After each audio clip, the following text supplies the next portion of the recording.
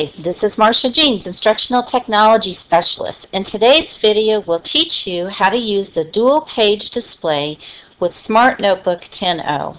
This is a great feature. Say, for example, you're teaching kids the order of operations and you want that up there all the time, but you also want to give them some space to try some of the problems.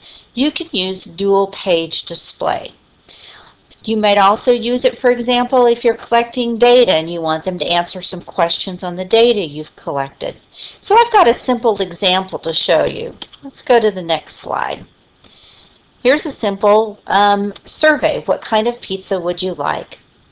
So I could go to the next slide.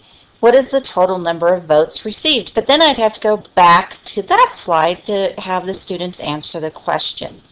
In comes the dual page display. The dual page display is an icon on your toolbar and it is located right here. Now it's right next to the full page, full screen view icon as well and they look an awful lot alike but the dual page one is right next to the full page. So I'm going to click on that and notice what it did is it, now I have two pages showing at the same time but I need to have those aren't the two I need, so I'm going to use the arrow keys and come over. And there we go. So I have the data and I have the question showing at the same time, which is pretty neat. But watch what happens when I go to the next question. My data disappears. You can, if you'd like, do what's called a pin page.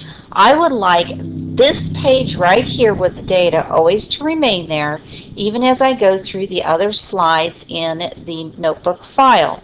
So what you'll want to do is what's called a pin page. Now get the, the page that you want on the left side of the screen. Then go up to View, Zoom, Pin Page. And now it looks like little two little pins are holding that page in. And I can go to the next page and that one always stays there. Pretty neat, huh? Now, another little cool trick about the dual page display are items can be moved from one page to another. For example, I can take this graphic of a slice of pizza and move it over to that page. So that's a pretty neat little um, versatile trick that you can use with that.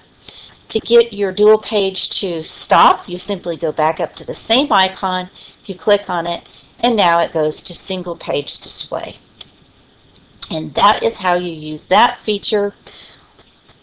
I hope you enjoyed the video, and we will see you next time.